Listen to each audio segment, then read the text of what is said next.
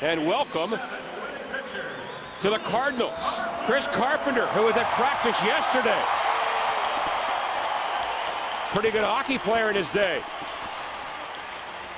Played high school hockey at New Hampshire, and he wanted to play hockey at Maine and also play baseball.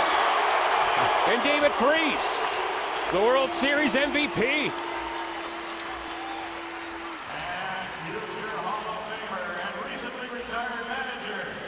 And he's got the trophy with him. How oh. special is that?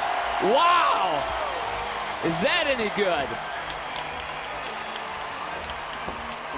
Tony actually played minor league baseball in Vancouver back in 68. Oh, the fans are just recognizing that the World Series trophy is right there. World champions, wow!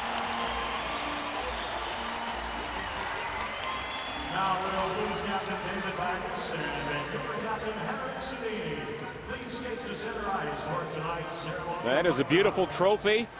11 World Series titles for the Cardinals, and now David Backes and Henrik Sedin will take the ceremonial face-off. See Henrik take a nice peek over to his right. Look at him, he can't wait to shake Tony's hand. He looked at that trophy before that puck was dropped. really a, a terrific moment. And we are hoping to talk to Tony, Chris Carpenter, and David Freese during our show tonight. And linesman Andy McElman making sure he wants to shake their hands as well.